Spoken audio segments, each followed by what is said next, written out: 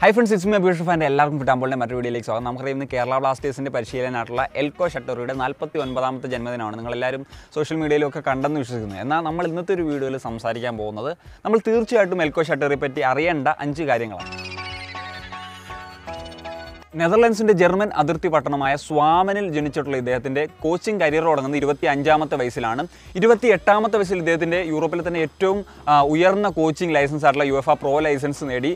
ഏറ്റവും കുറഞ്ഞ പ്രായത്തിൽ യു എഫ് പ്രോ ലൈസൻസ് നേടുന്ന ഡച്ച് കോച്ച് കൂടിയാണ് ഇദ്ദേഹം. ആയിരത്തി തൊള്ളായിരത്തി തൊണ്ണൂറ്റി ആറിൽ ഡച്ച് മുൻനിര ക്ലബ്ബായിട്ടുള്ള വി വി ബെൺലോ എന്ന് പറയുന്ന ക്ലബിന്റെ യൂത്ത് ടെക്നിക്കൽ ഡയറക്ടറായിട്ട് കരിയർ തുടങ്ങി ഇദ്ദേഹത്തിന്. ഇപ്പോൾ ഇരുപത്തി മൂന്ന് വർഷങ്ങളായിട്ടാണ്ട് പതിനാല് ക്ലബ്ബുകളിൽ അദ്ദേഹം ജോലി ചെയ്തിട്ടുണ്ട്. മുൻപ് പറഞ്ഞ പോലെ ഇരുപത്തിമൂന്ന് വർഷങ്ങളിലായിട്ട് അദ്ദേഹം youth development technical director assistant coach caretaker അങ്ങനെ പല ജോലികൾ ചെയ്തിട്ടുണ്ടെങ്കിലും രണ്ടായിരത്തി ഏഴിൽ ബെഹ്റിനി ക്ലബ്ബായിട്ടുള്ള അൽ റിഫയിലൂടെയാണ് അദ്ദേഹത്തിന്റെ ഒരു മാനേജീരിയൽ കരിയർ അതായത് ആസ് എ ഹെഡ് കോച്ച് എന്ന നിലയിൽ അദ്ദേഹം ആ ഒരു ജോലി തുടങ്ങുന്നത്. രണ്ടായിരത്തി പന്ത്രണ്ടിൽ പ്രയാഗ് യുണൈറ്റഡ് അഥവാ യുണൈറ്റഡ് എസ്സിലൂടെയാണ് അദ്ദേഹം ആദ്യമായിട്ട് ഇന്ത്യയിലേക്ക് എത്തുന്നത്. അതിനുശേഷം രണ്ടായിരത്തി പതിനഞ്ചിൽ ഈസ്റ്റ് ബംഗാളിന്റെ പരിശീലകനായി. അത് കഴിഞ്ഞ് രണ്ടായിരത്തി പതിനേഴിൽ നോർത്ത് ഈസ്റ്റ് യുണൈറ്റഡിന്റെ അസിസ്റ്റന്റ് പരിശീലകനായിട്ട് അവറം ഗ്രാൻഡിന്റെ കീഴിലെത്തി. രണ്ടായിരത്തി പതിനെട്ടിലാണ് അദ്ദേഹം നോർത്ത് ഈസ്റ്റ് യുണൈറ്റഡിന്റെ മുഖ്യ പരിശീലകനാകുന്നത്. ശേഷം രണ്ടായിരത്തി പത്തൊമ്പതിൽ അദ്ദേഹം കേരള ബ്ലാസ്റ്റേഴ്സിന്റെ പരിശീലകനാകുന്നത്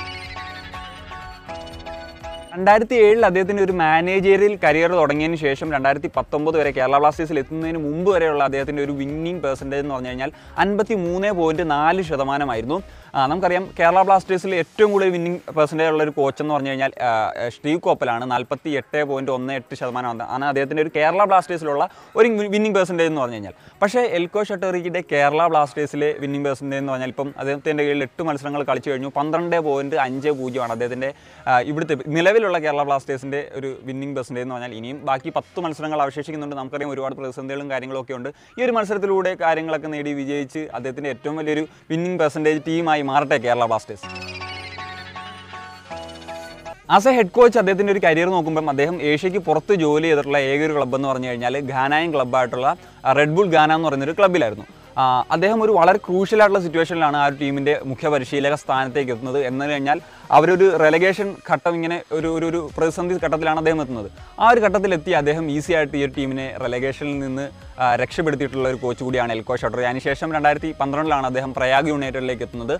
പ്രയാഗ് യുണൈറ്റഡിൽ അദ്ദേഹത്തിന്റെ ഐ ലീഗ് ഐ- ലീഗിൽ അദ്ദേഹം പ്രയാഗ് യുണൈറ്റഡിന് വേണ്ടി ആസ് ഹെഡ് കോച്ച് എന്ന നിലയിൽ ആദ്യത്തെ മത്സരത്തിന് ഇറങ്ങുമ്പോൾ ആദ്യ ഒരു മത്സരം യുണൈറ്റഡ് സിക്കും എന്ന് പറയുന്ന ടീമിനെതിരെയാണ് കളിച്ചത്. ആ ഒരു മത്സരത്തിൽ പത്ത് ഒന്നിനാണ് ഈ ഒരു പ്രയാഗ് യുണൈറ്റഡ് വിജയിക്കുന്നത് മാത്രമല്ല ആ ഒരു സീസണിൽ താരതമ്യേന ഒരു ചെറിയ ടീമായിരുന്നു ഈ ഒരു പ്രയാഗ് യുണൈറ്റഡ്. ടോപ്പ് ഫോറിൽ ഈ ഒരു ടീമിന് ഫിനിഷ് ചെയ്യാൻ സാധിച്ചു എന്നുള്ളതും വലിയൊരു കാര്യമാണ്. മാത്രമല്ല രണ്ടായിരത്തി പതിമൂന്നിലെ I F A shield East ബംഗാളിനെ പരാജയപ്പെടുത്തി നേടിയിട്ടുള്ള ടീം കൂടിയാണ് പ്രയാഗ് യുണൈറ്റഡ്. അന്നും ഈ ഒരു പരിശീലകൻ അതായത് എൽക്കോ ഷട്ടർ തന്നെയായിരുന്നു പ്രയാഗിന്റെ പരിശീലകൻ. രണ്ടായിരത്തി പതിമൂന്നിൽ East Bengal A F C cup കളിക്കുന്ന സമയത്ത് എൽക്കോ ഷട്ടറി ആയിരുന്നു ഈസ്റ്റ് ബംഗാളിന്റെ പരിശീലകൻ. അതിനുശേഷം രണ്ടായിരത്തി പതിനേഴിൽ എവറം ഗ്രാൻഡിന്റെ ആ, അദ്ദേഹം നോർത്ത് ഈസ്റ്റ് യുണൈറ്റഡിൽ എത്തുന്നത്. തൊട്ടടുത്ത വർഷം എവറം ഗ്രാൻഡ് തന്നെ മുഖ്യ പരിശീലകനാകും നോർത്ത് ഈസ്റ്റ് യുണൈറ്റഡിന്റെ ഒരു സിറ്റുവേഷനിൽ എത്തുമ്പോഴാണ് അദ്ദേഹം അവസാന നിമിഷം ഒരു ഗ്രീക്ക് ക്ലബിലേക്ക് അദ്ദേഹം പോകുന്നത്. ആ ഒരു സമയത്താണ് എൽക്കോ ഷട്ടോറി എന്ന് പറയുന്ന ഒരു പരിശീലകൻ നോർത്ത് ഈസ്റ്റിന്റെ മുഖ്യ പരിശീലകൻ എന്ന് പറയുന്ന ഒരു സ്ഥാനത്തിലേക്ക് എത്തുന്നതും നോർത്ത് ഈസ്റ്റിനെ ചരിത്രത്തിൽ ആദ്യമായിട്ട് പ്ലേ ഓഫിൽ എത്തിക്കുന്നതും വളരെ മികച്ചതും നീണ്ടതുമായിട്ടുള്ള ഒരു കോച്ചിങ് കരിയർ ഉണ്ടെങ്കിലും ഇരുപത്തി അഞ്ചാമത്തെ വയസ്സിൽ ഒരു കോച്ചിങ് കരിയർ തുടങ്ങി ഇദ്ദേഹത്തിന് ആസ് എ പ്രൊഫഷണൽ പ്ലെയർ അങ്ങനെ ഒരു കരിയർ പറയാനായിട്ടില്ല.